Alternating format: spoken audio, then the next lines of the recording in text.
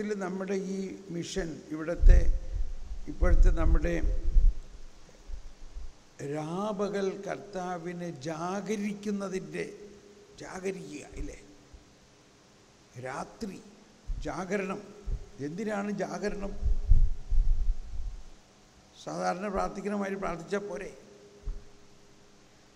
അപ്പോൾ ഇവിടെ പ്രത്യേകം ലൂക്ക പന്ത്രണ്ടിൽ പറയുന്നത് സദാ ജാഗരൂകരായ ഭൃത്യന്മാർ ലൂക്ക പന്ത്രണ്ട് മുപ്പത്തഞ്ച്. ഒന്ന് ബൈബിൾ തുറന്നു നോക്കി. സദാ ജാഗരൂകരായ ഭൃത്യന്മാർ അതാണ്. അതാണ് അതിന്റെ ടൈറ്റിൽ ലൂക്ക പന്ത്രണ്ട് മുപ്പത്തഞ്ച്. സദാ ജാഗരൂകരായ ഭൃത്യന്മാർ നിങ്ങൾ അരമുറുക്കിയും വിളക്ക് കത്തിച്ചും ഇരിക്കുവിൻ. തങ്ങളുടെ യജമാനൻ കല്യാണ വിരുന്ന് കഴിഞ്ഞ് മടങ്ങി വന്ന് മുട്ടുന്ന ഉടനെ തുറന്നു കൊടുക്കാൻ അവന്റെ വരവും കാത്തിരിക്കുന്ന ഇരിക്കുന്നവരെ പോലെ ആയിരിക്കുവിൻ. ഇരിക്കുന്നവരെ പോലെ. അവന്റെ വരവും കാത്ത് ഇരിക്കുന്നവരെ പോലെ ആയിരിക്കുവിൻ. അപ്പോൾ അവിടെ നമുക്ക് വേറൊരു ബോണസ് പ്രതീക്ഷയാണ്. എന്തായിരിക്കണം നമ്മുടെ പ്രതീക്ഷ? വന്നു കഴിഞ്ഞാൽ അവിടെ നിന്ന് എന്ത് തരാനാണ് പോണത്? യജമാനൻ വരുമ്പോൾ ലൂക്ക പന്ത്രണ്ട് മുപ്പത്തേഴ്. യജമാനൻ വരുമ്പോൾ ഉണർന്നിരിക്കുന്നവരായി കാണുന്ന ഭൃത്യന്മാർ ഭാഗ്യവാന്മാർ. ഭാഗ്യവാന്മാർ. സത്യമായി ഞാൻ നിങ്ങളോട് പറയുന്നു അവൻ അരമുറുക്കി അവരെ ഭക്ഷണത്തിനിരുത്തുകയും അടുത്ത് ചെന്ന് അവരെ പരിചരിക്കുകയും ചെയ്യും. സത്യമായി ഞാൻ നിങ്ങളോട് പറയുന്നു യജമാനൻ തന്നെ അരമുറുക്കി അവൻ അരമുറുക്കി അവരെ ഭക്ഷണത്തിനിരുത്തുകയും അടുത്ത് ചെന്ന് അവരെ പരിചരിക്കുകയും ചെയ്യും അതാണ് പകലെല്ലാം താൻ കൂടെ പണിത് എനിക്ക് അതിന്റെ ട്യൂൺ കിട്ടിയിട്ടില്ല. പകലെല്ലാം താൻ കൂടെ പണിതോർക്ക് അവൻ അരകെട്ടി പരികർമ്മിച്ചിടും. തന്റെ കൂടെ പണിതോർക്ക് തന്റെ തന്നെ ശുശ്രൂഷിച്ചവർക്ക് അല്ലെങ്കിൽ തന്റെ കൂട്ടുവേലക്കാർക്ക് അവൻ അരമുറുക്കി പരികർമ്മിച്ചിടും. ഇത് ഇന്ന് നമ്മുടെ ആവശ്യമാണ് ഇവിടെ. ഇവിടെ ഇന്നത്തെ നമ്മുടെ ആവശ്യമാണ് ഇല്ലേ? നമ്മൾ അമ്പത് വർഷത്തിലധികമായി ഈ ഇവിടെ ശുശ്രൂഷ ചെയ്ത് ഈശോയെ ശുശ്രൂഷിച്ചുകൊണ്ടിരിക്കുകയാണ്. പക്ഷെ ഈശോ പറഞ്ഞത് ഞാൻ വന്നത് നിങ്ങളെ ശുശ്രൂഷിക്കാനാണ്. ശുശ്രൂഷിക്കപ്പെടാനല്ല ശുശ്രൂഷിക്കാനാണ് വന്നത്. അപ്പോൾ നമ്മളെപ്പോഴും ഈശോയെ അങ്ങോട്ട് ശുശ്രൂഷിക്കണതേ നമ്മൾ മനസ്സിലാക്കിയിട്ടുള്ളൂ. ഈശോ എപ്പോഴും പറയണത് ഞാൻ ശുശ്രൂഷിക്കപ്പെടാനല്ല ഞാൻ ശുശ്രൂഷിക്കാനാണ് വന്നേക്കുന്നത് അപ്പം നമ്മൾ ആ ഈശോ നമുക്ക് വേണ്ടി ചെയ്യുന്ന ശുശ്രൂഷയെ കാരണം ഈശോ എന്താ നമുക്ക് വേണ്ടി ചെയ്യണ ശുശ്രൂഷ? നമ്മൾ ശുശ്രൂഷകരാണ്. അതും ഈശോയുടെ ശുശ്രൂഷാ പൗരോഹിത്യത്തിൽ നിന്നാണ് നമ്മുടെ ശുശ്രൂഷ. പക്ഷെ ഈശോ നമ്മളെ ശുശ്രൂഷിക്കുന്നത് എങ്ങനെയാ? ഏത് സമയത്താ? എന്നെ ശുശ്രൂഷിക്കാൻ വേണ്ടി നിങ്ങൾ ജാഗരൂകരായി അരമുറുക്കി ജാഗരണം നടത്തുകയാണെങ്കിൽ ഞാൻ വന്ന് നിങ്ങളെ ശുശ്രൂഷിക്കും. ശുശ്രൂഷിക്കും.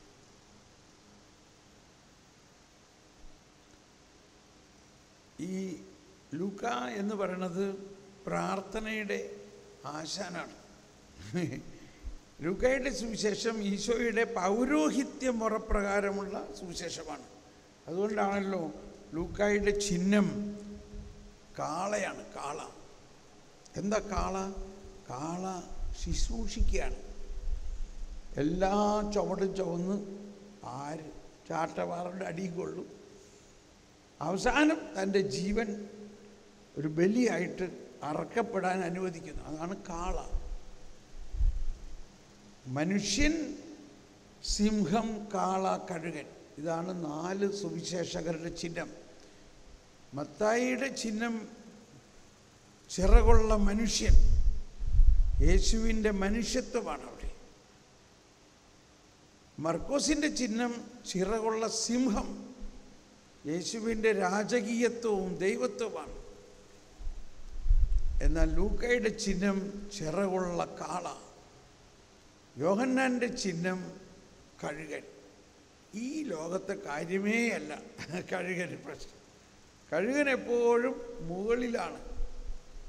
വലിയ മഴ വരുമ്പോൾ മറ്റു പക്ഷികളൊക്കെ ഓടി കൂട്ടിൽ കയറി ഒളിക്കും.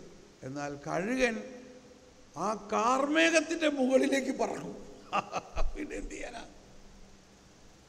കഴിയില്ലേ വലിയ മഴ വരട്ടു. കഴുകൻ കാർമേഘത്തിന്റെ മുകളിലേക്ക് പറക്കും. നിന്നെ എന്നെ ഈ മഴയൊന്നും തോപ്പിക്കാൻ പറ്റില്ല. അപ്പോൾ ഈ നാല് സുവിശേഷകരിലെയും നമ്മുടെ ശുശ്രൂഷ മേഖലയിൽ പ്രാക്ടിക്കലായിട്ട് നമ്മൾ എന്ത് ചെയ്യണം എന്ന് കൃത്യമായിട്ട് നമ്മളെ ഉപദേശിക്കുന്ന സുവിശേഷമാണ് ലൂക്കായുടെ സുവിശേഷം. ശുശ്രൂഷ. ഈശോ ശുശ്രൂഷ ചെയ്യണം അതിനെ മനോഹരമായിട്ട് ആ ശിമയോൻ ഈശോയെ കാത്തിരിക്കുന്നിടത്ത് അന്ന എന്ന ഒരു പ്രവാചക എൺപത്തിനാല് വയസ്സായി.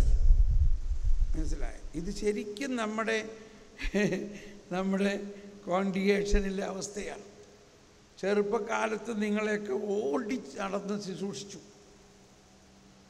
ഒരുപാട് കഷ്ടതകൾ സഹിച്ചു. വയസ്സാവുമ്പോഴോ നിങ്ങൾ എൺപത്തിനാല് വയസ്സായുമ്പോഴും എന്ത് ചെയ്യണമെന്നാണ് പറഞ്ഞേക്കണം. എൺപത്തിനാല് വയസ്സാകുമ്പോൾ നിങ്ങൾ എന്ത് ചെയ്യണം? നിങ്ങൾ എന്ത് ചെയ്യണം? രാവും പകലും ദേവാലയം വിട്ടുപോകാതെ. കണ്ടോ? ലൂക്ക രണ്ട് മുപ്പത്തിയാറ്. ഫനവേലിന്റെ പുത്രിയും ആഷേർ വംശജയുമായ അന്ന എന്നൊരു പ്രവാചികയും അവിടെ ഉണ്ടായിരുന്നു. അവൾ കന്യകാപ്രായം മുതൽ ഏഴ് വർഷം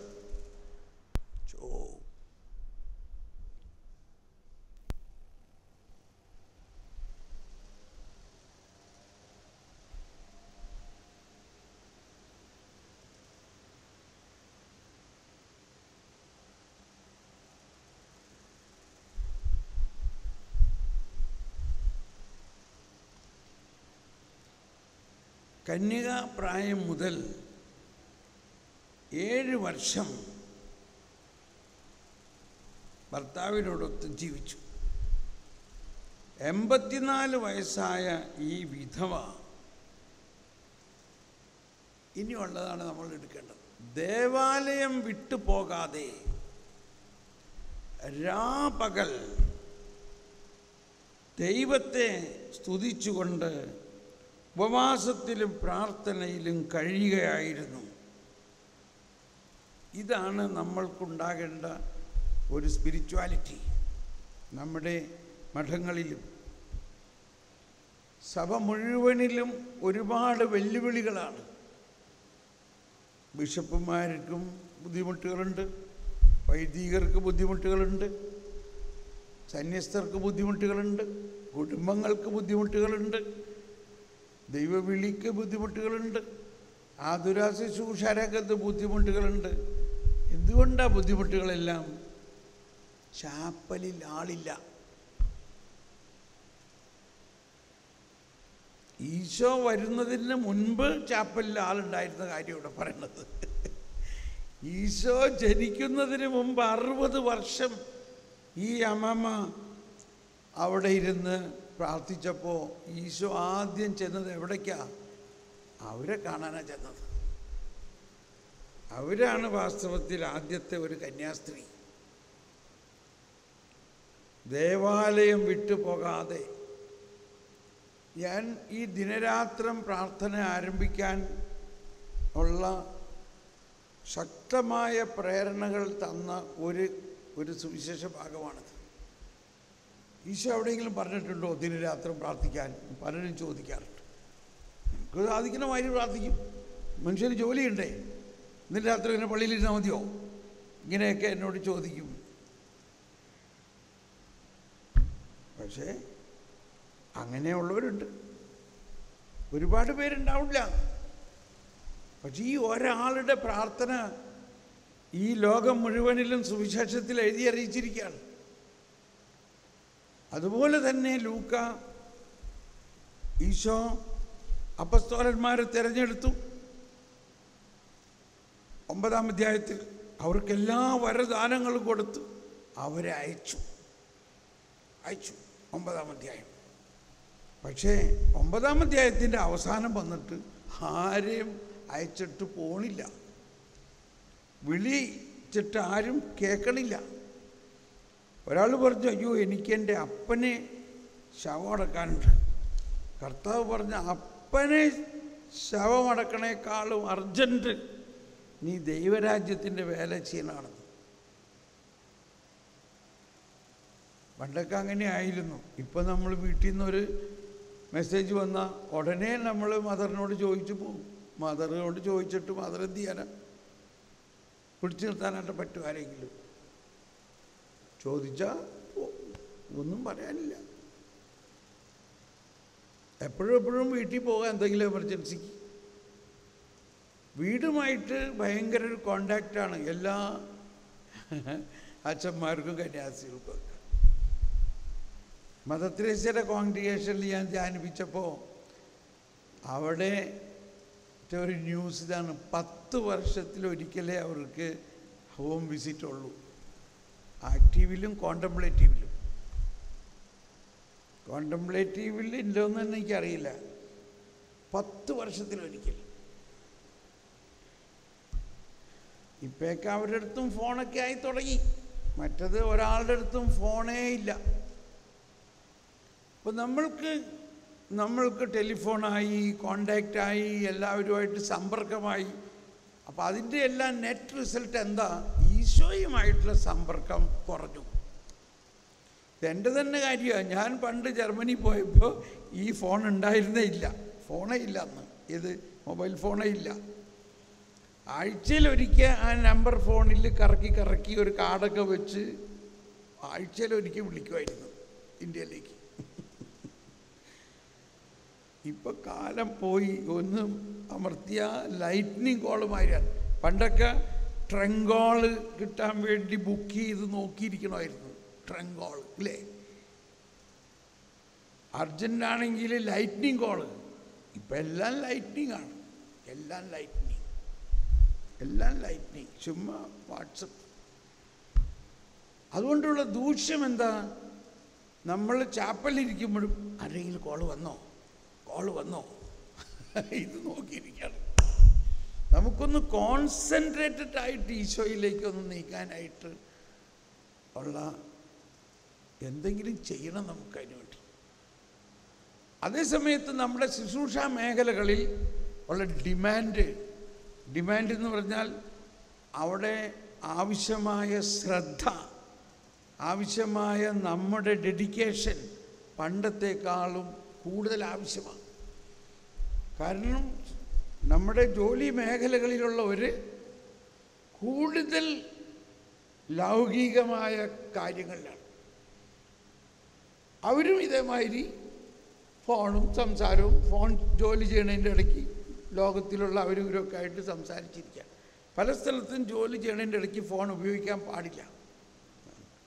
പക്ഷെ നമ്മളിതൊക്കെ പറഞ്ഞാൽ വല്ല കാര്യം നടക്കുമോ ഡോക്ടർമാരുണ്ട് നേഴ്സുമാരുണ്ട് രോഗികളെ വളരെയധികം താല്പര്യത്തോടെ ശുശ്രൂഷിക്കേണ്ടവരാണെങ്കിലും അവരുടെ ജോലി സമയത്ത് വളരെയധികം സമയം ഫോണിലൂടെയും പല പബ്ലിക് റിലേഷനിലൂടെയും ആണ്. ജോലി സ്ഥലത്താണ് ശരീരമെങ്കിലും മനസ്സും അറ്റൻഷനും ഒന്നും ഇവിടെ അല്ല. ഇതെല്ലാം ഒരു വെല്ലുവിളിയായിട്ട് നമ്മൾ കണക്കാക്കണം. ഇവിടെ നമ്മൾ എങ്ങനെ കൈകാര്യം ചെയ്യാൻ പറ്റും? How can be tackle this നമുക്ക് ഇവരുടെയൊക്കെ പുറകെ നടക്കാൻ പറ്റുമോ? നമ്മൾക്ക് നൽകിയിരിക്കുന്ന ഇത്രയും വലിയ ഒരു മിഷൻ നടത്തണമെങ്കിൽ അതിനു വേണ്ടി തന്നിരിക്കുന്ന സ്റ്റാഫ് അവർക്ക് ശമ്പളം കൊടുക്കുന്നു അവർക്കെല്ലാം കൊടുക്കണു അവർ വളരെ കമ്മിറ്റഡ് ആണെന്നൊക്കെ പറയുന്നുണ്ടെങ്കിലും അവരുടെ ഒരു സമ്പ്രദായം മാറിയിരിക്കണോ? എല്ലാവരുടെയും. അവർ ആ ഒഴുക്കിലായിരിക്കുന്നു.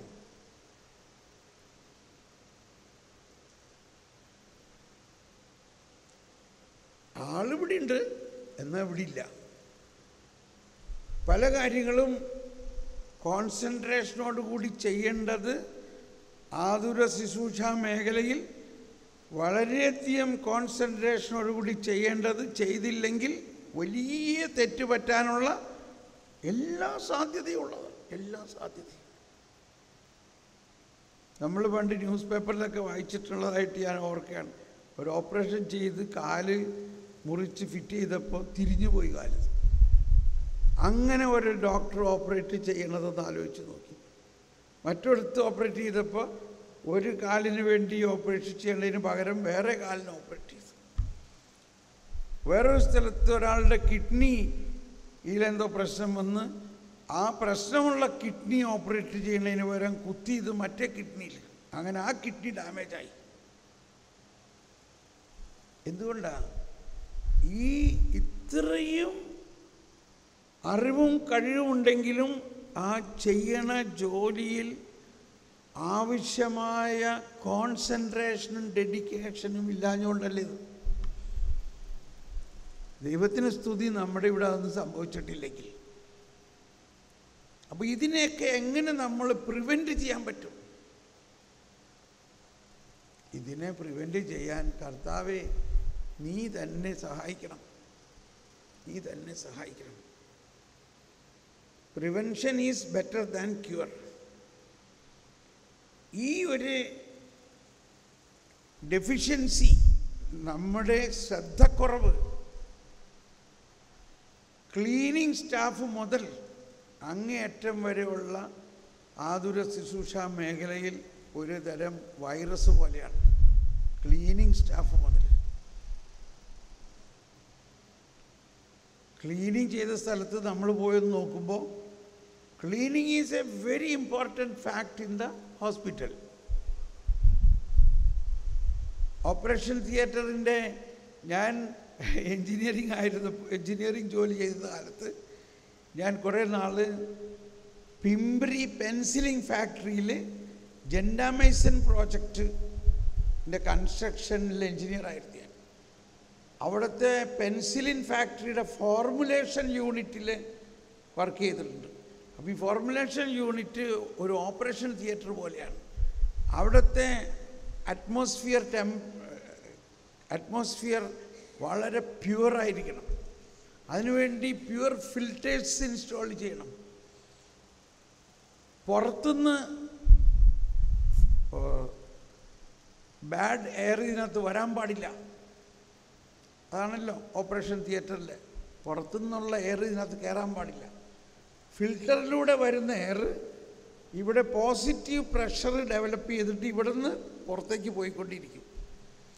അത്രയ്ക്ക് പ്യൂരിറ്റി എയറിൽ മെയിന്റെയിൻ ചെയ്യണം. അങ്ങനെ എന്തെല്ലാം കാര്യങ്ങൾ നോക്കിയാലാണ് ഒരു ഓപ്പറേഷൻ സക്സസ് ആകണത്. അപ്പോൾ ഓരോ ദിവസം ചെല്ലും തോറും ഇതിന്റെ മേഖലകൾ വർദ്ധിച്ചു വരുന്നു. അപ്പോൾ ഇവിടെയെല്ലാം നമ്മളിൽ നിന്നും നമ്മൾക്ക് കൺട്രോൾ ചെയ്യാൻ പറ്റാത്ത മാതിരിയുള്ള സിറ്റുവേഷൻസാണ് ഉണ്ടാകാൻ പോണത്. അപ്പോൾ അതിനെല്ലാം വേണ്ടത് നമ്മളെ സംബന്ധിച്ച് ഒറ്റ കാര്യമുള്ളൂ. ദിനരാത്രം പ്രാർത്ഥിക്കുക. കുറച്ച് നേരം പ്രാർത്ഥിച്ചാൽ പോരാ. ഈശോ പറഞ്ഞു ഒരുവൻ നല്ല വിത്ത് വിതച്ചു പക്ഷെ രണ്ട് ദിവസം കഴിഞ്ഞപ്പോൾ അതിന്റെ ഇടയിൽ കളകൾ വിതച്ചേക്കണം. യജമാന നമ്മൾ നല്ല വിത്തല്ലേ വിതച്ചത്? പിന്നെ എങ്ങനെ ഈ കളകൾ വന്നിരിക്കണം? യജമാനൻ പറഞ്ഞു അതെ നിങ്ങൾ രാത്രി കിടന്നുറങ്ങിയപ്പോൾ നിങ്ങൾ ഇതിനെ കെയർ ചെയ്യേണ്ട ആൾക്കാർ ഇതിന് രാത്രി കിടന്ന് ഉറങ്ങിയപ്പോൾ കള്ളൻ വന്ന് വിതച്ചതാണ്. ഞങ്ങൾ പറിച്ചു കളയട്ടെ. വേണ്ട വേണ്ട വേണ്ട. ഇപ്പം ഒന്നും ചെയ്യണ്ട. ഇപ്പം ഇനി നിങ്ങളത് പറിക്കാൻ പോയാൽ നിങ്ങളുടെ ചവിട്ട് കൊണ്ട് ആ നല്ല ചെടികളും കേടാം ഇതിനകത്ത് നമ്മൾ മനസ്സിലാക്കണം. നമ്മുടെ തന്നെ സിസ്റ്റർമാരാകാം ഡോക്ടർമാരാകാം. വളരെ അധികം സമർപ്പണത്തോടെ വന്നിട്ടുള്ളവരാകാം പക്ഷേ വളരെയധികം ഡെഡിക്കേറ്റഡ് ആയിട്ടുള്ള വളരെയധികം കഴിവുള്ള നമ്മുടെ തന്നെ സിസ്റ്റേഴ്സോ ഡോക്ടേഴ്സോ ദൈവവിളിയോ എല്ലാം കള്ളൻ വന്ന് വിതച്ച് ചിസാര കാരണത്തിൽ നമ്മളറിയാതെ ഒരു ദിവസം പറയാണ് ആൾ പോയി. നമ്മൾ അന്തം വിട്ടു പോണു. എന്തുകൊണ്ടാ? Prevention is better than cure ഇത് ക്യൂറേ ചെയ്യാൻ പറ്റില്ല പ്രിവെൻഷൻ നമ്മളത് പ്രിവെന്റ് ചെയ്യാൻ രാപ്പകൽ കള്ളൻ കയറാതെ നോക്കണം. ഈ അപ്പോൾ തെറ്റായ പ്രബോധനമാണ് അതിനകത്ത് ഒരു കാര്യം.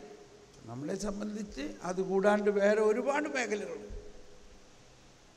കള്ളൻ കയറാൻ സാധ്യതയുണ്ട്. കാര്യം മനസ്സിലായല്ലോ.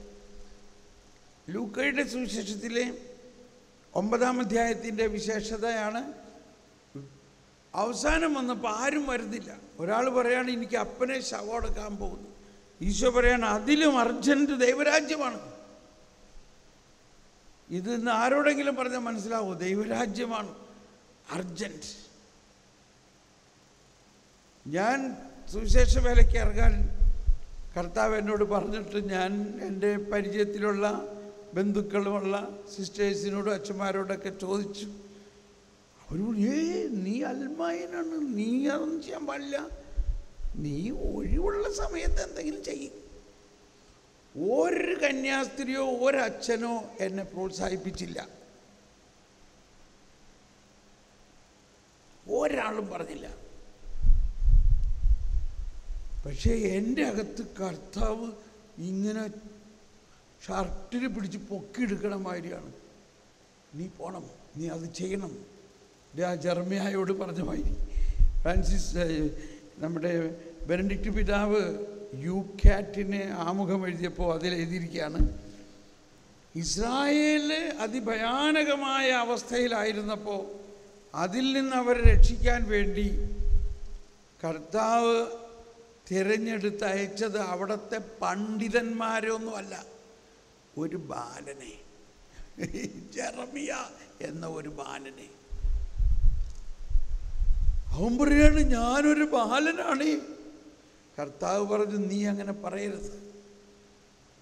നീ ഒരു ബാലനാണെന്ന് പറയരുത്. ഞാനാണ് നിന്നെ നിന്റെ അമ്മയുടെ ഗർഭത്തിൽ ഉരുവായപ്പോൾ തന്നെ അഭിഷേകം ചെയ്തിരിക്കണത്.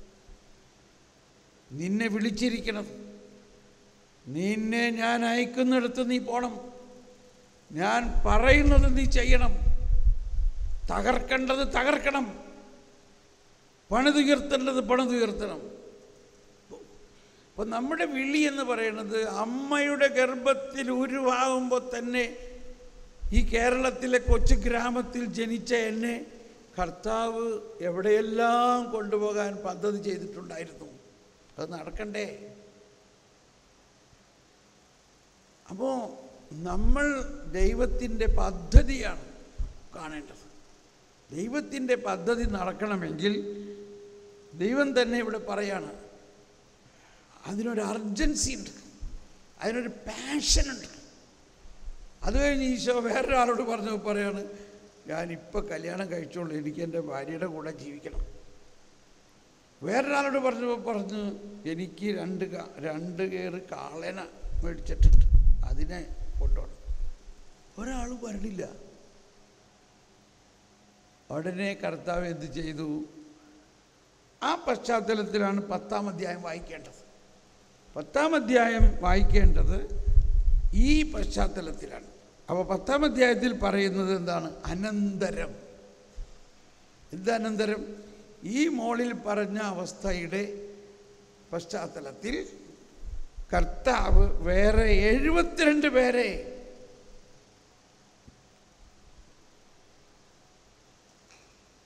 എല്ലാ പട്ടണങ്ങളിലേക്കും നാട്ടിൻപുറങ്ങളിലേക്കും ഈ രണ്ട് പേരായി തനിക്ക് മുമ്പേ അയച്ചു. താൻ പോകുന്നതിന് മുൻപ്.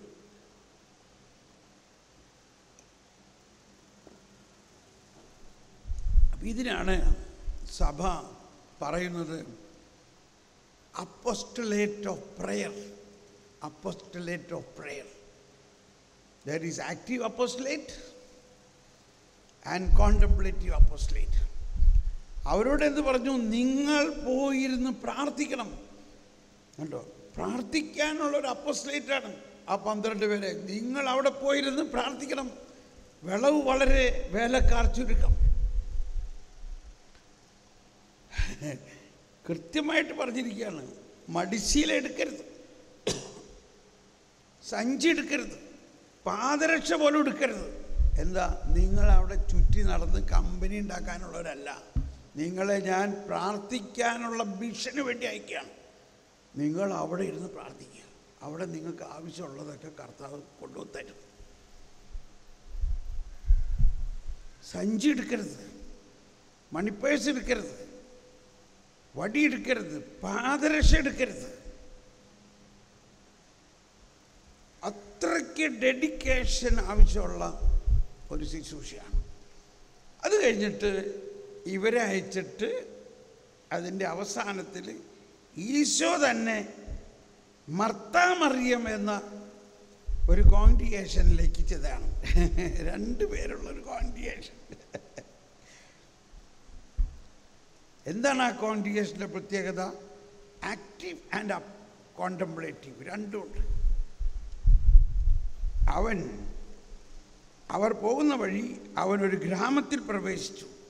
മാർത്ത എന്ന പേരുള്ള ഒരുവൾ അവനെ സഭാവനത്തിൽ സ്വീകരിച്ചു.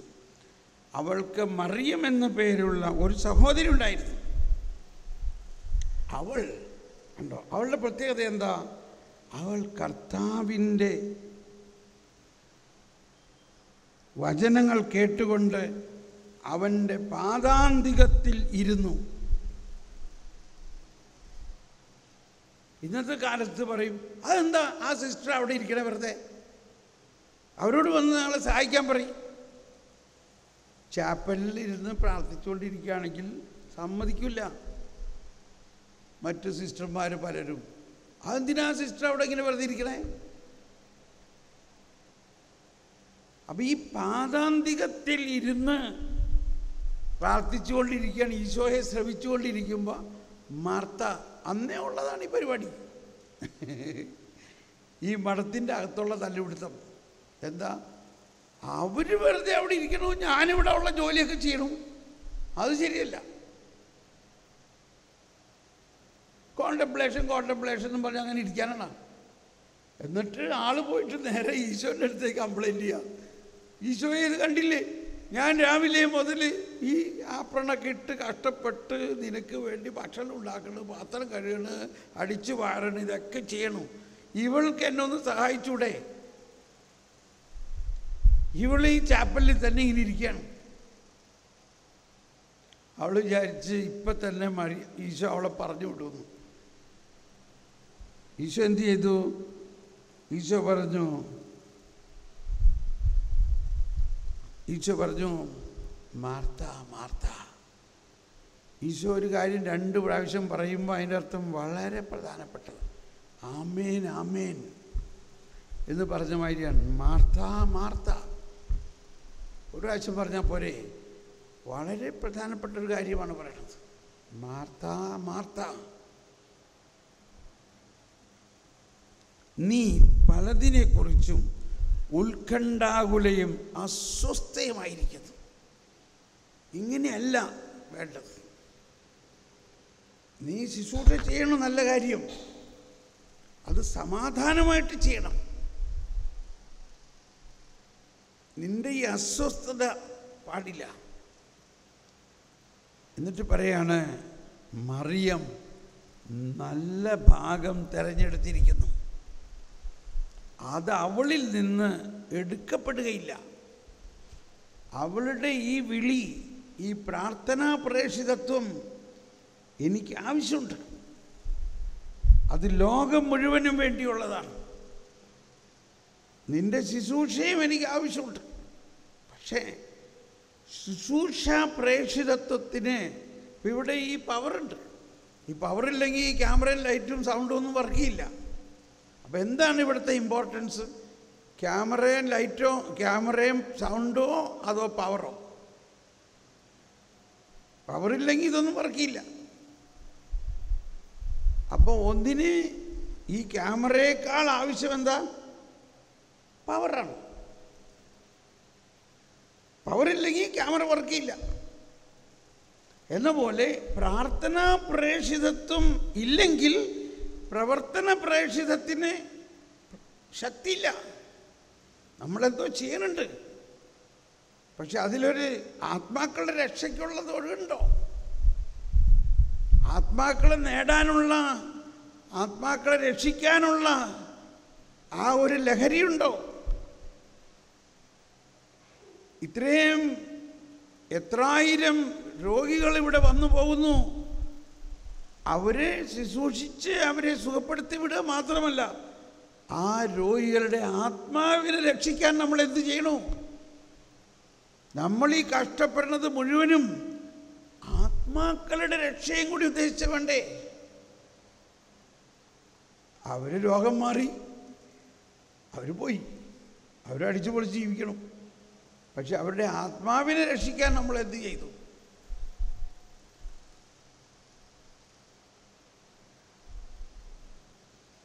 നമ്മൾ ഈ ഉടുപ്പിട്ട് കർത്താവിന് വേണ്ടി കർത്താവിന്റെ മുന്തിരിത്തോട്ടത്തിൽ കേട്ടോ മുന്തിരിത്തോപ്പിൽ വന്നിരിക്കുന്നത് എന്തിനാ? ഇവരെയൊക്കെ നല്ല ആരോഗ്യം കൊടുത്ത് സ്കൂളിൽ നന്നായിട്ട് പഠിപ്പിച്ച് എൻജിനീയറും ഡോക്ടറുമാക്കി കാശുണ്ടാക്കുന്ന ആൾക്കാരാക്കാനാണോ? കെമിസ്ട്രിയും ബയോളജിയൊക്കെ പഠിപ്പിക്കാൻ വേണ്ടി മാത്രമാണോ? നേഴ്സിംഗ് പഠിപ്പിച്ച് അവരിപ്പോഴേ തന്നെ ഫോറിനിൽ പോകാനായിട്ടുള്ള പരിപാടിയിലാണ്. അവിടെ പോയി കാശുണ്ടാക്കാനാണോ? ആത്മാക്കളുടെ രക്ഷ എന്നുള്ള ഒരു വിഷയം നമ്മുടെ ആത്മാവിലുണ്ടോ? നമ്മളെ കർത്താവ് വിളിച്ചേക്കുന്നത് എന്തിനാ?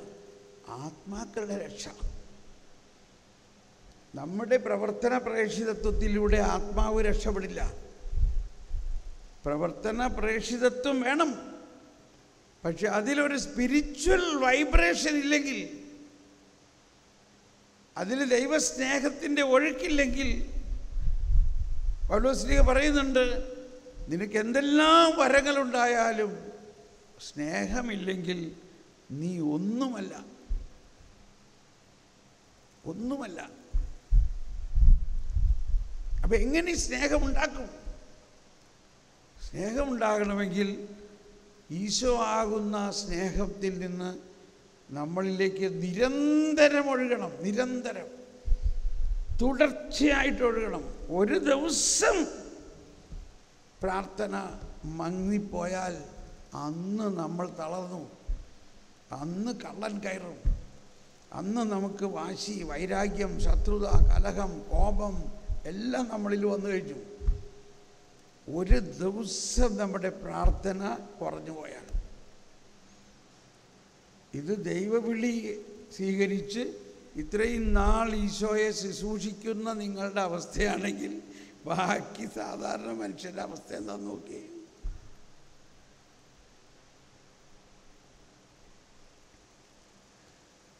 അപ്പം ഇതെല്ലാം ഇടയ്ക്കിടയ്ക്ക് ആരെങ്കിലും പറയുമ്പോൾ നമുക്കൊരു തിരിച്ചറിവുണ്ടാവും. അങ്ങനെ നമ്മൾ ചില സമയത്ത് തന്നെ ഒരു കോണ്ടംപ്ലേറ്റീവ് കോൺഗ്രിഗേഷൻ അവർ നാല് സിസ്റ്റേഴ്സേ ഉള്ളൂ കോണ്ടംപ്ലേറ്റീവ്സ് അവരെനിക്ക് എഴുതി സാറേ ഞങ്ങളെ ധ്യാനിപ്പിക്കാൻ ആരും വരാറില്ല. കാരണം നാല് സിസ്റ്റേഴ്സിനെ ആര് ധ്യാനിപ്പിക്കാൻ വരും? എല്ലാവർക്കും ഒരുപാട് ആൾക്കാർ വേണം. സാറ് വരാമോ? ഞാൻ പറഞ്ഞു തീർച്ചയായിട്ടും വരാം. എത്ര ദിവസത്തേക്ക് വേണമെങ്കിലും വരാം. കാരണം ഈ നാല് കോണ്ടംപ്ലേറ്റീവ് സിസ്റ്റേഴ്സ് എന്ന് പറഞ്ഞാൽ ലോകം മുഴുവനെയും തകിടം മറിക്കാൻ ഉള്ള കഴിവ് ദൈവം അവർക്ക് കൊടുത്തിട്ടുണ്ട്. അവരെ അപ്പോൾ നമ്മൾ മനസ്സിലാക്കേണ്ടത് നമ്മുടെ വിളിയുടെ ആ പ്രാധാന്യവും അതിനുവേണ്ടി ദൈവം നമുക്ക് തന്നിരിക്കുന്ന പ്രത്യേകമായ ചില ചില പ്രാർത്ഥനാ രീതികളുമാണ്.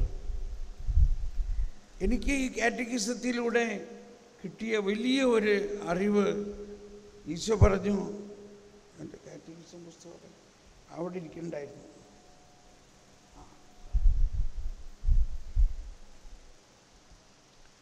ഇത് കണ്ട ഈ പുസ്തകത്തിന്റെ മട്ട് കണ്ടിട്ട് നിങ്ങൾക്ക് എന്താ തോന്നണേ? ഇത് നന്നായിട്ട് ഉപയോഗിച്ചിട്ടുണ്ട് തോന്നുന്നുണ്ട് ശരിക്കും. ഇതിങ്ങനെ വിട്ടുവിട്ട് പോയിക്കൊണ്ടിരിക്കുകയാണ്. ഇതിലെന്നെ അല്ലെങ്കിൽ എന്റെ പ്രാർത്ഥനാ ജീവിതത്തിന് ഭയങ്കര ഒരു ഹൈറ്റ് ഭയങ്കര ഒരു ഉയർച്ച തന്നത് ഇതിനകത്ത് രണ്ടായിരത്തി അഞ്ഞൂറ്റി അറുപതാമത്തെ ഖണ്ണിക ഇതിൽ പറഞ്ഞിരിക്കുകയാണ് ദൈവത്തിന്റെ ദാനം രണ്ടായിരത്തി അഞ്ഞൂറ്റി അറുപത് ദൈവത്തിന്റെ ദാനം എന്തെന്ന് നീ അറിഞ്ഞിരുന്നെങ്കിൽ എന്താ ദൈവത്തിന്റെ ദാനം? അത് പിന്നെ പറയാം. വെള്ളം തേടി വെത്തുന്ന കിണറ്റിങ്കൽ വെച്ചാണ് പ്രാർത്ഥനയാകുന്ന മഹാവിസ്മയം. കണ്ടോ? ഞാൻ താലന്ത് മാഗസീനിൽ ഇതിനെക്കുറിച്ച് ആർട്ടിക്കിൾ എഴുതുന്നുണ്ട്. അപ്പോൾ അതിലെ ആദ്യത്തെ ആർട്ടിക്കിൾ ഇതായിരുന്നു. പ്രാർത്ഥനയാകുന്ന മഹാവിസ്മയം. നമുക്ക് അനാവൃതമാകുന്നത്. അവിടെ ഓരോ മനുഷ്യജീവിയെയും കണ്ടുമുട്ടാൻ ക്രിസ്തു വന്നു ചേരുന്നു. അവിടുന്നാണ് ആദ്യം നമ്മെ തേടി വന്ന് നമ്മോട് ദാഹജലം ആവശ്യപ്പെടുന്നത്. യേശുവിന് ദാഹിക്കുന്നു. നമ്മെപ്പറ്റി ദൈവത്തിനുള്ള ആഗ്രഹത്തിന്റെ അഗാധതയിൽ നിന്ന് ഉയരുന്നതാണ് അവിടുത്തെ അഭ്യർത്ഥന. നാം മനസ്സിലാക്കിയാലും ഇല്ലെങ്കിലും ദൈവത്തിന്റെ ദാഹവും നമ്മുടെ ദാഹവും തമ്മിലുള്ള സമാഗമമാണ് പ്രാർത്ഥന. നാം ദാഹിക്കണമെന്ന് ദൈവം ദാഹിക്കുന്നു. അപ്പോൾ സമരിയാക്കാരിയുടെ അടുത്ത് ഒരാൾ ചെന്നിട്ട് യാചിക്കുകയാണ്. എനിക്ക് അല്പം വെള്ളം കുടിക്കാൻ തരാമോ? ഇത് യേശു അവളോട് പ്രാർത്ഥിക്കുകയാണ്. യേശു പ്രാർത്ഥിക്കുകയാണ്. എനിക്ക് ദാഹിക്കുന്നു. എനിക്ക് ഇച്ചിരി വെള്ളം കുടിക്കാൻ തരാമോ? എനിക്ക് ദാഹിക്കുന്നു. അപ്പോൾ എന്താണ് യേശുവിന്റെ ദാഹം? യേശുവിന്റെ ദാഹം ഈ സമരിയാക്കാരി എന്ന ആത്മാവിന് വേണ്ടിയിട്ടാണ്. നട്ടുച്ചയ്ക്ക് പൊരി വെയിലത്ത് അപ്പസ്തോലന്മാരെ എല്ലാം പറഞ്ഞു വിട്ടു. ഇവളോട് സീക്രട്ടായിട്ടൊന്ന് സംസാരിക്കാൻ. കണ്ടോ? എന്തിനാ ആത്മാവിനെ നേടാൻ? അവർക്കും ഈശോ ഒരു പെണ്ണിനോട് സംസാരിച്ച് നിൽക്കണ കണ്ടിട്ട് അവർക്ക് എന്താ തോന്നതാണ് എന്നിട്ട്? അതെന്താ അവൻ അവളോട് ഇങ്ങനെ സംസാരിക്കണേ? അപ്പോഴാണ് ഈശോ പറഞ്ഞത് ഈശോ അവർ പറഞ്ഞു ഈശോ നിങ്ങൾ അച്ഛൻ അച്ഛൻ ഈശോ എന്തെങ്കിലും ഭക്ഷണം കഴിക്കുക ഇല്ല നിങ്ങളറിയാത്ത ഭക്ഷണം എനിക്കുണ്ട്. എന്താണ്? ഈ ഒരു ആത്മാവിനെ നേടുക. ഇവളെക്കുറിച്ചുള്ള ദൈവഹിതം ഇവൾ ആദ്യത്തെ കന്യാസ്ത്രീ ആവുക എന്നുള്ളതാണ്. അവളുടെ ഹിസ്റ്ററി അവളെ പറഞ്ഞത് കേട്ടല്ലോ. എന്തിനു പറയണു? അഞ്ച് മിനിറ്റിനകത്ത് അവൾ നട്ടുച്ചയ്ക്ക് വെള്ളം കോരാൻ വന്ന അവൾ വെള്ളം കുടം ഉപേക്ഷിച്ച് ആത്മാക്കൾക്ക് വേണ്ടിയുള്ള ദാഹത്തോടെ സമരിയ പട്ടണത്തിലേക്ക് ഓടി. സമരിയാക്കാരെ മുഴുവനും കിണറ്റുകരയിലേക്ക് കൊണ്ടുവന്നേക്കണം.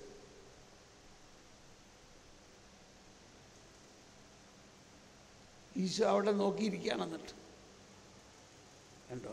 ഒരു ചൂണ്ട ഇടുന്ന മാതിരിയല്ലേ? ചൂണ്ടയ്ക്ക് നമ്മൾ ഇച്ചിരി മീനിടും എന്തിനാണ് വലിയ മീൻ പിടിക്കാൻ വേണ്ടി? സമരിയാക്കാരി എന്ന അവളിലൂടെ സമരിയ പട്ടണത്തിനെ മുഴുവനും പിടിച്ചെടുത്തു. അതാണ് കോൺടെംപ്ലേറ്റ് ദൈവത്തിന്റെ ദാനം എന്തെന്ന് അറിഞ്ഞിരുന്നെങ്കിൽ. അപ്പോൾ എന്നെ വളർത്തിയത് ഈശോ ആണ് ആദ്യം പ്രാർത്ഥിക്കുന്നത്. ഈശോ ആണ് നമ്മൾ തേടി വരുന്നത്. ഈശോയുടെ പ്രാർത്ഥനയാണ് നമ്മളെ ദാഹിപ്പിക്കുന്നത്. ഒരു വലിയ തത്വമുണ്ട്. സങ്കീർത്തനം ആഴം ആഴത്തെ വിളിക്കുന്നു. നാൽപ്പത്തിരണ്ടാം സങ്കീർത്തനം. അങ്ങയുടെ വെള്ളച്ചാട്ടങ്ങളുടെ ഇരമ്പൽ കൊണ്ട് ആഴം ആഴത്തെ വിളിക്കുന്നു. വലിയ പ്രബോധനമാണത്. വിശുദ്ധ അഗസ്തീനോസും ജോൺ ഓഫ് ദ ക്രോസും എല്ലാം ഇതിനെക്കുറിച്ച് വിവരിച്ചേക്കുന്നത് കാണുമ്പോൾ ഈ ആദ്യത്തെ ആഴം എന്ന് പറയുന്നത് ദ ഇനിസിയേഷൻ ഫ്രം ഗാഡ് അതായത് സ്വർഗസ്ഥനായ പിതാവ് എന്നുള്ള പ്രാർത്ഥനയിൽ ആദ്യത്തെ മൂന്ന് പ്രാർത്ഥനയിൽ അങ്ങയുടെ നാമം പൂജിതമാകണമേ അങ്ങയുടെ രാജ്യം വരണമേ അങ്ങയുടെ ഹിതം അങ്ങയുടെ അങ്ങയുടെ അങ്ങയുടെ. ഇത് ഇനിസിയേഷൻ ഫ്രം ഗാഡ് അവസാനത്തെ മൂന്ന് പ്രാർത്ഥന ഞങ്ങളുടെ ഞങ്ങളുടെ ഞങ്ങളുടെ. ഞങ്ങളുടെ പാപം ക്ഷമിക്കണേ. ഞങ്ങളെ പ്രവർത്തിയിൽ ഉൾപ്പെടുത്തരുത്. ഞങ്ങളെ തിരുമ്പലിൽ നിന്ന് രക്ഷിക്കണേ. അപ്പോൾ ഇനിസിയേഷൻ ഈസ് ഇമ്പോർട്ടന്റ്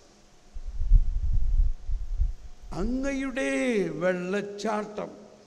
ആ വെള്ളച്ചാട്ടം നമ്മളിലേക്ക് ഇങ്ങനെ വന്നിട്ട് നമ്മുടെ ആത്മാവിലേക്ക് ആഴമായ ഒരു സ്പർശനമുണ്ടാകുമ്പോൾ നമ്മളിൽ നിന്നും വലിയൊരു ദാഹം ഉണ്ടാകുന്നു ആഴം ആഴത്തെ പിടിക്കുന്നു പ്രാർത്ഥിക്കാൻ പറ്റണില്ല ബ്രദറെ. പ്രാർത്ഥിക്കാൻ ഒരാഗ്രഹമില്ല എന്തുകൊണ്ടാണ് ഈ ടെക്നിക്ക് അറിയണം. പ്രാർത്ഥന നമ്മളിൽ നിന്നല്ല ആരംഭിക്കുന്നത്.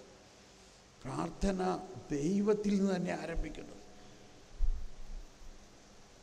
ആ പശ്ചാത്തലത്തിലാണ് രണ്ടായിരത്തി എണ്ണൂറ്റി പതി അറുന്നൂറ്റി പതിനാറ് തുറന്നപ്പോൾ തന്നെ അത് കിട്ടി. വിശുദ്ധ അഗസ്തീനോസ് യേശുവിന്റെ പ്രാർത്ഥനയുടെ മൂന്ന് മാനങ്ങളെ വിദഗ്ധമായി സംഗ്രഹിക്കുന്നു. നമ്മുടെ പുരോഹിതനായി അവിടെ നിന്ന് നമുക്ക് വേണ്ടി പ്രാർത്ഥിക്കുന്നു. ഇതാണ് എന്റെ രണ്ടാമത്തെ വലിയ കണ്ടുപിടുത്തം. വലിയ വിജയമാണ് എനിക്കുണ്ടായിക്കൊണ്ടിരിക്കുന്നത്. നമ്മുടെ പുരോഹിതനായി അവിടെ നിന്ന് നമുക്ക് വേണ്ടി പ്രാർത്ഥിക്കുന്നു. നമ്മുടെ ശിരസായി നമ്മിൽ പ്രാർത്ഥിക്കുന്നു. നമ്മുടെ ദൈവമായി നമ്മുടെ പ്രാർത്ഥന കേൾക്കും ഇത് നമ്മുടെയൊക്കെ കാര്യം വൺ അറ്റ് എ ടൈം എന്നുള്ളതാണ് നമ്മൾ ജോലി ചെയ്യേണ്ടത്. ഞാനിതൊന്ന് ചെയ്ത് കഴിയട്ടെ എന്നിട്ട് അടുത്തത് ചെയ്യാം. ഇങ്ങനെയാണ് നമ്മൾ പലപ്പോഴും. പക്ഷേ ഈശോ അങ്ങനെയല്ല. All at a time because is God ഇത് മൂന്നും സൈമിൾട്ടേനിയസ്ലി നടക്കുകയാണ്. ഈശോ നമ്മുടെ പ്രാർത്ഥന കേൾക്കുന്നു. അതോടൊപ്പം ഈശോ നമുക്ക് വേണ്ടി പ്രാർത്ഥിക്കുന്നു. ഏതുപോലെ? പാതിരപ്പിയോ ഇവിടെ കുർബാന ചെല്ലണു. പക്ഷെ ആ സമയത്ത് പാതിരപ്പിയോ തന്നെ കുമ്പസാരക്കൂട്ടിലിരിക്കണം സെന്റ് വിൻസെന്റ് ഇപ്പോൾ ഇതുപോലെ തന്നെ. Sorry saint Vincent Pallotti. ആളുകൾ നോക്കുമ്പോൾ വിൻസെന്റ് പള്ളോട്ടി കുർബാനയിലും അങ്ങേര് തന്നെ കൊണ്ടിരിക്കണം ഇതെന്ത് പരിപാടി? അതാണ് കർത്താവിന്റെ ജ്ഞാനവും ശക്തിയും. കർത്താവ് സൈമിൾട്ടേനിയസ് ചെയ്യാൻ പറ്റും. അതാണ്. ഈശോയുടെ പ്രാർത്ഥനയുടെ മൂന്ന് മാനങ്ങൾ വൺ ആഫ്റ്റർ അനന്തർ അല്ല. ഒരേ സമയം ഈശോ നിത്യപുരോഹിതനായി നമുക്ക് വേണ്ടി പ്രാർത്ഥിക്കുന്നു. അതേസമയം സമ ശരീരത്തിന്റെ ശിരസായി നമ്മിൽ പ്രാർത്ഥിക്കുന്നു. അതേസമയം ദൈവമായി നമ്മുടെ പ്രാർത്ഥന കേൾക്കുന്നു. സൈമിൾട്ടേനിയസ് ഇങ്ങനെ വിശ്വസിക്കണം. എന്നിട്ട് ഈശോയെ നിനക്കറിയാമല്ലോ എന്റെ അവസ്ഥ? ബാക്കി ഒന്നും പറയണ്ട.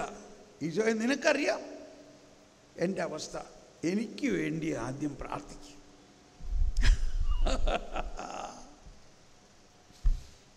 ആദ്യങ്ങളിലൊക്കെ എനിക്കിത് ഭയങ്കര പ്രയാസമായിരുന്നു. പക്ഷേ ഈശോ ചിരിക്കാണ്. ചിരിച്ചിട്ട് പറയാണ് നീ കണ്ടെത്തിയിരിക്കണം. നീ കണ്ടെത്തിയിരിക്കണം.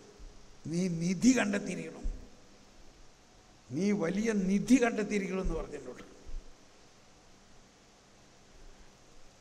ആക്ച്വലി ഇത് സെന്റ് അഗസ്റ്റിൻ എഴുതിയേക്കണത് വായിക്കണേക്ക് മുമ്പ് എനിക്ക് മർക്കോസ് പതിനാല് മുപ്പത്തിരണ്ടിലൂടെ എനിക്കിത് കിട്ടിയായിരുന്നു. അത് കഴിഞ്ഞപ്പോഴാണ് സഭയുടെ പ്രബോധനത്തിൽ തന്നെ പറയണു സെന്റ് അഗസ്റ്റിനെ പോലെയുള്ള സഭാപിതാക്കന്മാരും സെന്റ് അഗസ്റ്റിന്റെ മാനസാന്തരത്തിൽ കഴിഞ്ഞിട്ട് സെന്റ് അഗസ്റ്റിൻ ആദ്യം ചെയ്തത് ഒരു മൊണാസ്ട്രി ഉണ്ടാക്കുകയാണ് ചെയ്തത്. അതാണ് അഗസ്റ്റീനിയൻ മൊണാസ്ട്രി. അപ്പോൾ സെന്റ് അഗസ്റ്റിനെയൊക്കെ പ്രാർത്ഥന വീരന്മാരായിട്ട് നമ്മൾ കാണണം. സെന്റ് അഗസ്റ്റിന്റെ ഏറ്റവും ഫേമസ് പുസ്തകം കൺഫെഷനാണ്. പക്ഷെ അതിനേക്കാളെല്ലാം അദ്ദേഹത്തിന്റെ ആ പ്രാർത്ഥനയുടെ റിഫ്ലക്ഷൻ ഉള്ളത് സങ്കീർത്തനങ്ങളെക്കുറിച്ചുള്ള വ്യാഖ്യാനത്തിലാണ്. നൂറ്റമ്പത് സങ്കീർത്തനത്തെയും സെന്റ് അഗസ്റ്റിൻ ക്രിസ്തുവിന്റെ പ്രാർത്ഥനയായിട്ടും ക്രിസ്തുവിന്റെ രഹസ്യമായിട്ടും വ്യാഖ്യാനിച്ചിട്ടുണ്ട്. അതും എന്നെ ജീവിതത്തെ വളരെ വളരെ ഷാജി വളരെയധികം സഹായിച്ചു. ഒരു സങ്കീർത്തനത്തിന്റെ ഒരു പൊടിയൊന്ന് പാടി. ഈ നൂറ്റമ്പത് സങ്കീർത്തനവും ഞങ്ങളെ കൊണ്ട് കർത്താവ് ട്യൂൺ ചെയ്ത് പാട്ടാക്കി.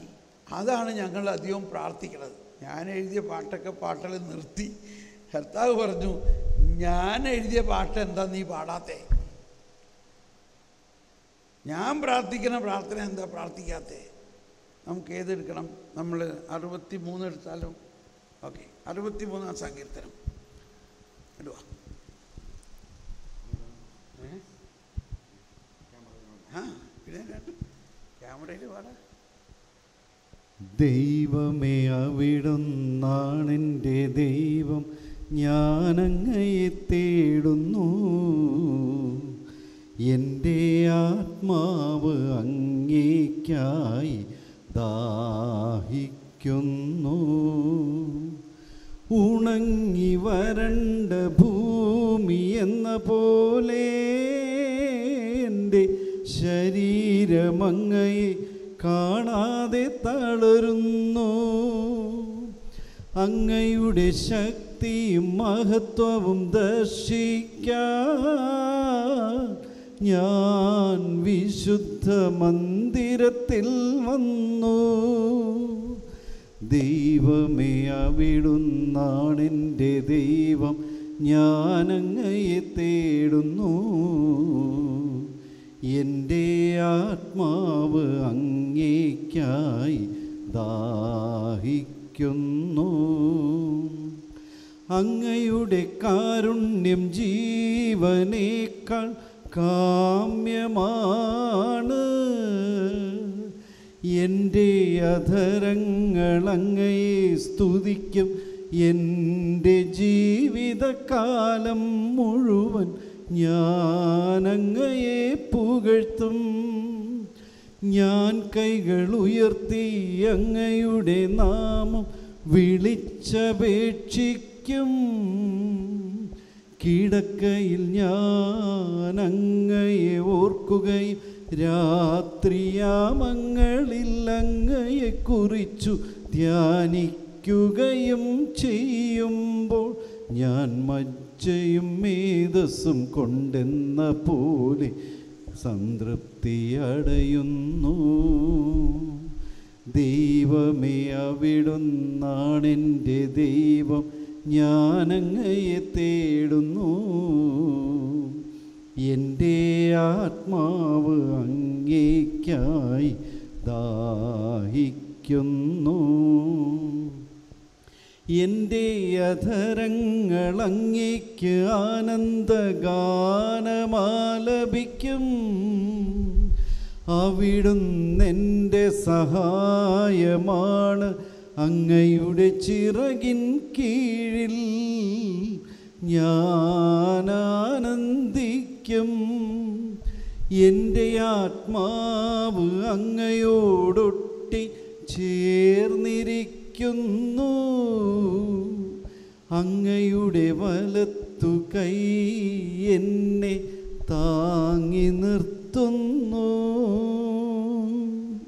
ഇതിനു വേണ്ടിയിട്ടാണ് ഇതിനു വേണ്ടി ഇനി ഇരുപത്തേഴ് എടുക്കാം ആ ആ, ഒരു കാര്യം എന്റെ ആത്മാ കണ്ടോ?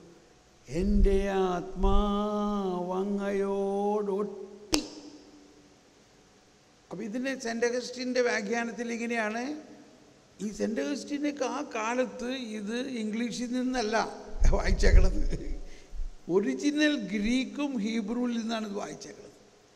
അതുകൊണ്ട് ഇന്ന് ഈ സങ്കീർത്തനങ്ങളിൽ കാണുന്ന ഭാഷയേ അല്ല അതിന്റെ ഒറിജിനൽ ഭാഷ എന്നാണ് അവിടെ എഴുതിയിരിക്കുന്നത് എന്റെ ആത്മാവ് അങ്ങയോട് പശ വെച്ചൊട്ടിച്ചിരിക്കുകയാണെന്ന് എഴുതിയേക്കണേ എന്റെ ആത്മാവ് അങ്ങയോട് പശ വെച്ചൊട്ടിച്ചിരിക്കുന്നു. എന്നിട്ട് എന്താണ് ആ പശ?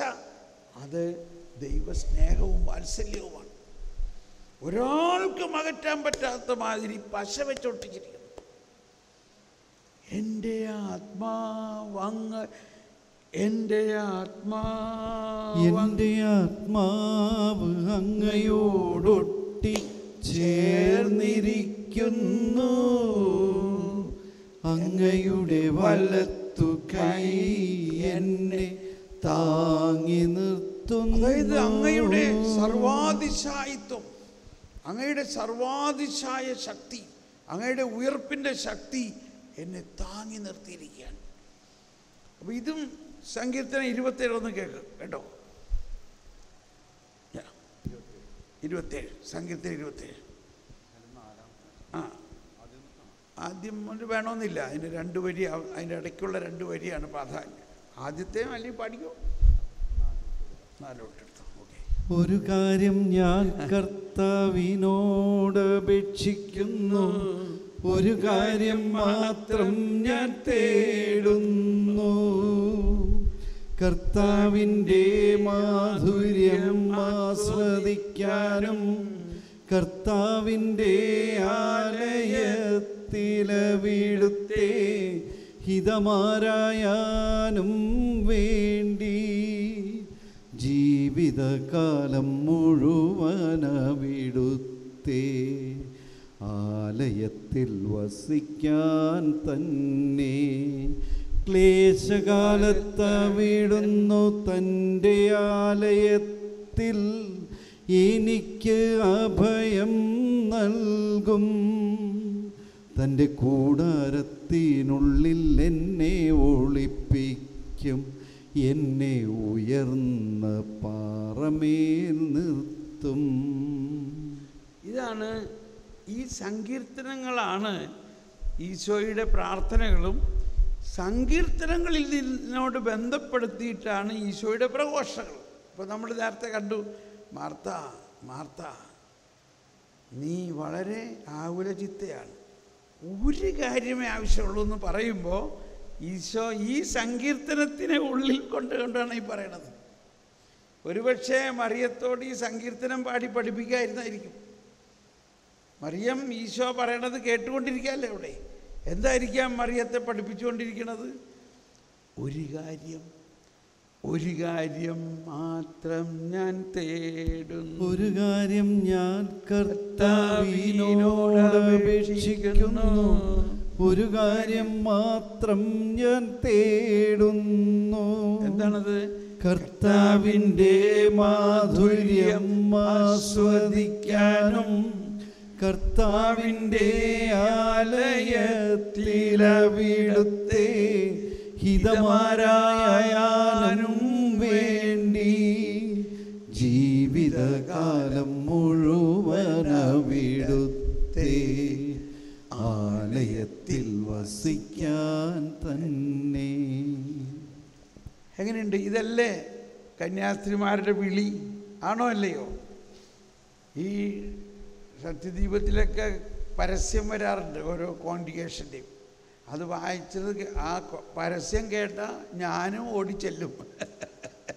എന്താണ് പരസ്യത്തിൽ കർത്തവിന്റെ മുന്തിരിത്തോട്ടത്തിൽ വേല ചെയ്യാൻ കുഞ്ഞനുജത്തിമാരെ സ്വാഗതം. മുന്തിരിത്തോട്ടത്തിൽ വന്നിട്ട് ഇവിടെ മുന്തിരിത്തോട്ടോ ഈശോന്റെ അടുത്ത് ഇരിക്കാൻ പോലും സമയമില്ല. പൊതിരെ വേറെ കാര്യങ്ങളാണ്. ചാപ്പലിൽ ആരുമില്ല. ഈശോ ഈ സങ്കീർത്തനം ജീവിക്കുകയായിരുന്നു. ഒരു കാര്യം ഇതെന്നെ വളരെയധികം ആകർഷിച്ചിരിക്കുന്ന ഒരു കാര്യമാണ്. ഒരു കാര്യമേ ആവശ്യമുള്ളൂ. ഒരു കാര്യം കർത്താവിന്റെ മാധുര്യം ആസ്വദിക്കുക. കർത്താവിന്റെ പ്രേമം അനുഭവിക്കുക. കർത്താവിന്റെ ആ സ്നേഹവായ്പ അനുഭവിക്കുക. കർത്താവിന്റെ ആ ശബ്ദം കേൾക്കുക. കേട്ടോട്ടോ? ഒരിക്കൽ എല്ലാ ദിവസവും ഞാൻ ഇങ്ങനെ രാവിലെ ഇരുന്ന് കേട്ടിട്ട് ഞാൻ എഴുതി വയ്ക്കും ഇത് പറഞ്ഞത്. ഒരു ദിവസം എന്നോട് പറയാണ് നീ ഒരു കല്ലാണ്. ശേ അത് നല്ല പണിയാണല്ലോ. ഇത്രയും ദിവസം എന്നെ ഇതേമാതിരി സ്നേഹിച്ച ഈശോ ഇപ്പം എന്താ ഞാനൊരു കല്ലാണെന്ന് പറയണേ? അപ്പം എനിക്കറിയാം എന്തോ കുസൃതി തരമാണ് ഇത്. എന്നെ ഒന്ന് എന്നെ പറ്റിക്കാനാണ്. കല്ലാണ് ഈ കല്ല്. എന്നാലും ഞാൻ നിന്റെ കല്ലല്ലേ എന്നൊക്കെ പറഞ്ഞ് ഞങ്ങളിങ്ങനെ കുസ്തി പിടിച്ചു. കുറച്ച് കഴിഞ്ഞപ്പോൾ പറയണേ നീ ദാവീദിന്റെ കയ്യിലെ കല്ലാണെന്ന്. നീ ദാവീദിന്റെ കയ്യിലെ കല്ലാണ്. നിന്നെയും കൊണ്ട് ഞാൻ ഗോലിയാത്തിനെ തകർക്കും. ഇതങ്ങ് പറയല്ല എനിക്ക് അതുപോലെ ഒരു അഭിഷേകം കൊണ്ട് അങ്ങ് നിറഞ്ഞിട്ട് എനിക്ക് അവിടെ ഇരിക്കാൻ പറ്റണില്ല. ഇരിക്കാൻ പറ്റണില്ല.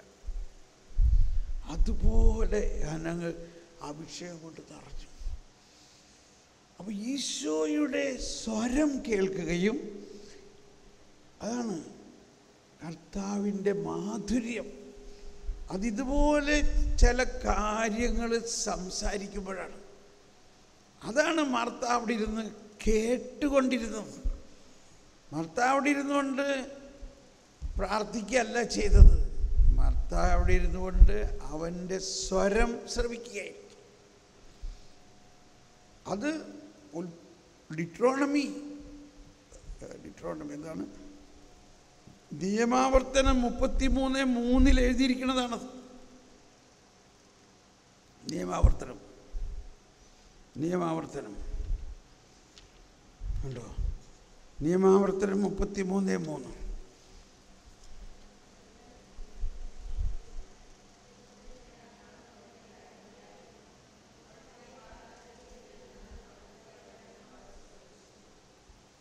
അല്ലേ അതല്ലേ ആ, അതെ മൂന്ന് മുപ്പത്തി ഒന്നോ ഏ? അവൾ പാതാന്തികത്തിൽ ഇരുന്നു എന്നുള്ളത്? എത്രയാ? ആ ആ ഞാൻ മുപ്പത്തി രണ്ടാണ് എടുത്തത്. മുപ്പത്തി മൂന്ന്. മൂന്ന് കണ്ടോ? അവിടുന്ന് തന്റെ ജനത്തെ സ്നേഹിച്ചു. തന്റെ വിശുദ്ധരെല്ലാവരും അവിടുത്തെ കരങ്ങളിലായിരുന്നു. അവിടുത്തെ പാതാന്തികത്തിലിരുന്ന് അവിടുത്തെ വചനം അവർ ശ്രവിച്ചു. കണ്ടോ? മോശയോട് മോശയുടെ ആശീർവാദമാണ്. അപ്പോൾ ആ സംഭവത്തിന്റെ റെഫറൻസിലാണ് ഈശോ ഇവളോട് പറയണത്. അല്ലെങ്കിൽ മോ അല്ലെങ്കിൽ ഇവിടെ എഴുതിയിരിക്കണത്. എവിടെ എഴുതിയിരിക്കണത്?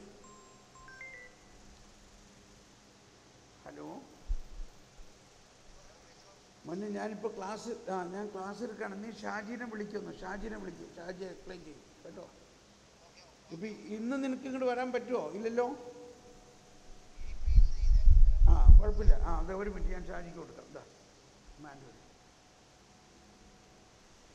ഞാൻ ഇവിടേക്ക് ആൾക്കാരെ സംഘടിപ്പിച്ചുകൊണ്ടിരിക്കുകയാണ്. ഓക്കെ. അപ്പം ഈ പാതാന്തികത്തിൽ ഇരുന്ന് ഇപ്പം എന്നെ വിളിച്ച ആൾ ഇരുപത്തഞ്ച് വർഷമായിട്ട് നമ്മുടെ കൂടെ ദിനരാത്രം പ്രാർത്ഥിക്കുന്ന ആളാണ്. ദിനരാത്രം നമ്മുടെ എല്ലാ ആൾക്കാരും അങ്ങനെ തന്നെയാണ്. അപ്പം അവരെ